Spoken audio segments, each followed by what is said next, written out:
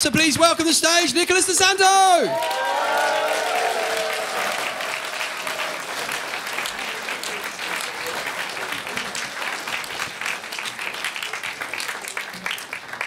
Thank you very much, guys. Uh, I'm trying to read the room. Do you guys like the world? All right. Uh, uh, listen, I don't want to alarm anybody, but I've been watching the news, and it turns out that um, diversity doesn't work, uh, like ever at all. Um, because the media, they have a difficult job. All day long, they bang on about how great diversity is. But in the evening, they show us the news, which uh, might as well be called diversity gone wrong. Uh, listen, I don't want to give it all away, but it's something like this. Hello and welcome to the news. Tonight, we have uh, concentration camps in western China for ethnic Uyghurs, sectarian violence in Kashmir, Hindu lynched in Bangladesh, Christian lynched in Pakistan, civil war in Afghanistan, Syria, and Iraq, sectarian political deadlock in Lebanon. In Rwanda, mass graves discovered. In Bosnia, mass graves commemorated. In Darfur, mass graves are being dug right as we speak. And uh, in America, systemic uh, racism has somehow led to looting of electronic shops. Uh, escalation in eastern Ukraine, constitutional crisis in Catalonia. And in sports, an all-white Italy beat England at Wembley to win the European Football Championship. Okay, I'm afraid that's all what we have time for. Thanks for watching, and remember, diversity is great. By the way, everything in that news bulletin did happen. Right-wing comedy is very fact-based, actually. Uh, do you remember the Euros final match? What a day that was. I mean, diversity was supposed to win, wasn't it? Because, I mean, the media tell us a lot about why diversity is great without providing any example or concrete proof of why it is great, because it's not. But uh, sporting glory is supposed to be the only trade off, right? They're like, hey, hey, you, yes, you are becoming an ethnic minority in your own homeland you, you too, yeah. Feel alienated, can't even recognize the neighborhood you were growing up on, can't even read the shop signs because they're in another freaking alphabet, and you're openly expected to welcome and embrace your replacement, otherwise, you're called a racist. Well, in return, diversity is going to win some medals and trophies for you. So the stage was set. Nobody said this was going to be easy, guys. the stage was set for diversity to triumph. You know, they brought the royal family into Wembley, the Royal Air Force flew the Red Arrows jets. They suspended COVID restrictions. Do you remember? The government was like, hey, you, yes, I know I stopped you from saying goodbye to your terminally ill father, and I stopped you from going to the subsequent funeral. Okay, stop crying, please. Now, get in the stadium. We need to fill up the stadium. We have a trophy to win. The script was for diversity to win, but there was a little problem. Nobody had shared the script with the Italians. so when the Italians saw the script, they were like, nah, cogito ergo sum, which roughly translates as, I don't think so. Yeah, the Italians. That was the biggest English party ruined by the Italians since Henry VIII's wedding parties, number two to six. I mean, he, he went ahead with his wedding parties number two to six, but they were much more low key as half Europe um, boycotted them, following uh, advice by Rome. Um, oh, I was so proud of being Italian that day. Uh, and it's not easy because as an Italian, every day you wake up, you're already at maximum national pride level. Uh, we have been like that ever since we invented civilization, art, and roads. Uh, but that was a good day. That was a good day. Um, some of you aren't on board, I can sense it, but this is already going better than it did at Goldsmith University campus. So. I guess I'll be fine. I'll be fine. Uh, that shit is on YouTube, by the way. You think I'm joking?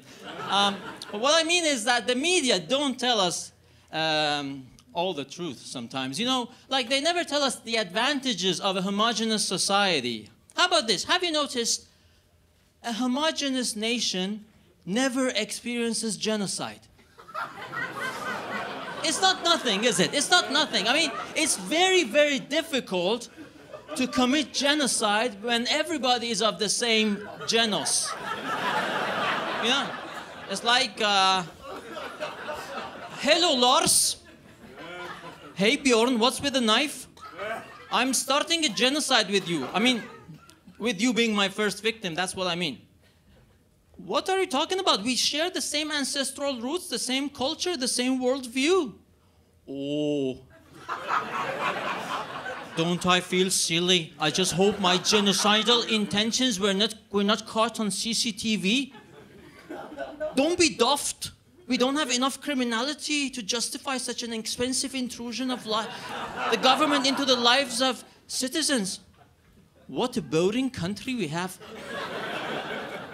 If you want to learn more about the advantages of a homogeneous nation, you can read all about it in my latest book entitled Boring Countries Sent No Head Choppers to Syria.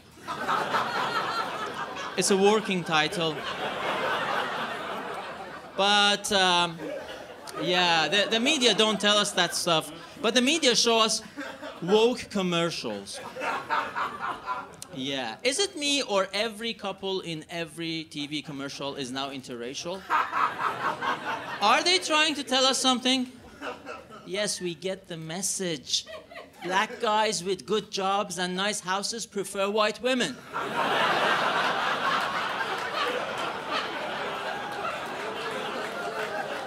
we get the message. But it's not a good message, is it? It's not a good message. But this is what happens when woke activists get involved with the free market. It, it, all started with the Barbie dolls. Some of you are old enough to remember it was a few years ago when they went after Mattel. You know Mattel, the manufacturer of Barbie dolls, was like, "Hello, is that Mattel? Listen, you impose an unobtainable body image onto our little girls, make them grow up and feel horrible about themselves. You should be ashamed of yourselves." Also, why aren't you making enough black Barbies, you racist bastards? Who is this? We are intersectional activists, and according to our intersectional theory, black women, by being black and women, are twice as oppressed by the white patriarchy. And right now, these black women are missing out on a good chunk, chunk of oppression because you are not providing the tools of oppression. For God's sake, young people are paying good money to study this crap at universities, and you are contradicting our theory. Come on! Yeah. I don't know. W- would you would you buy a house from a female architect? Because no, no, bear with me. No, laugh quickly. My time is limited, but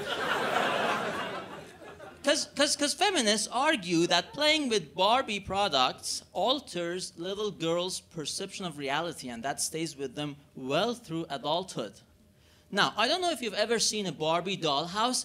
It's lacking an entire wall on the front side. and, and the elevator, the lift, is hanging by a flimsy thread. I don't know. It, does the Royal Institute of British Architecture know about this? I mean, if feminists were, I mean, they're never right, but if they were right, I wouldn't want to, I wouldn't want to set foot in an, in an elevator made by a female engineer. No. Um, listen, guys, uh, I don't want to alarm anybody, but there's a lot of racism going on. I was, uh, it's got to stop now. Um, I was talking to this friend of mine who is a member of um, one of the communities.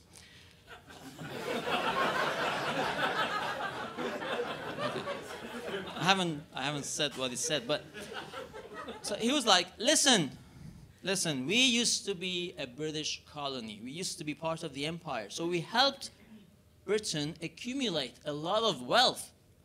But today, when a member of the British public sees one of us on the street, do you think that's the first thing that crosses their mind? Because it isn't. I said, Oh, okay, I see your point.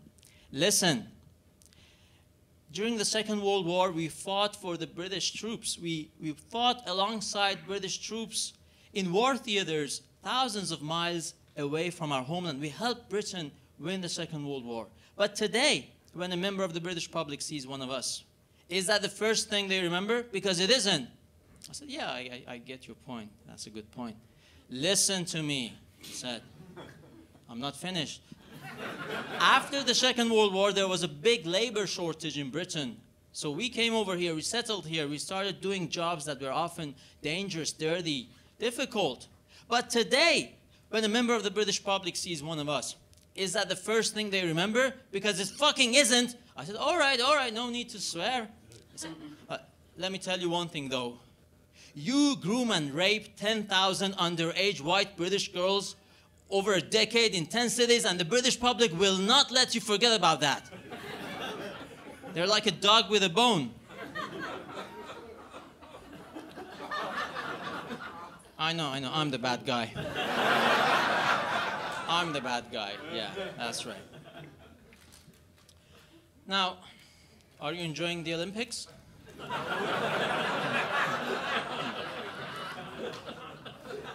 Why are you laughing? Thanks for your trust. No, I prefer the Summer Olympics. Here's what happened in the Summer Olympics that uh, I can't forget. Um, I can't get my head around it. Basically, the German female gymnastics team decided to ditch their leotards for unitards. They started covering shoulder to toes, covering the legs basically, and they said they were doing this to combat objectification of women. So basically, for you perverts who were hoping to look at their long, bare, supple legs, this is bad news from now on. But if you were hoping to look at their camel toes, it's business as usual.